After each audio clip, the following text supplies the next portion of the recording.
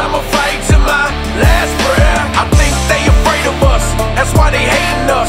They ain't ready for the rise of the patriots. This for the 3% and all it represent. Don't tread on me, come and take it.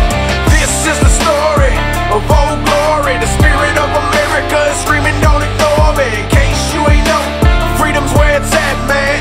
And it don't matter if you white, brown or black man. Divided we gon' fall how they kill the nation. Why you think they try and take us back to segregation? If we all come together, we can destroy the matrix, fix a broken system, and end all the hatred.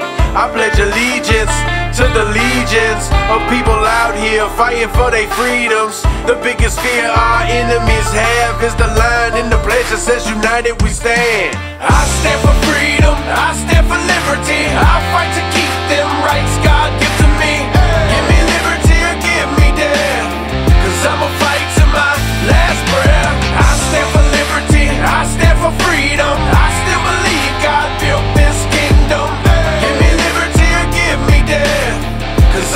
to my last breath. Everything political and hypocritical. People nowadays taking everything literal. Everybody's cynical, government's tyrannical. Every problem in the world is getting critical. This moment pivotal, everything digital. All we see now is conservative or liberal. Nothing is forgivable, so everybody criminal. Can't believe what you see, cause everything's subliminal. What is mythical? What is biblical? Why is everybody so damn miserable?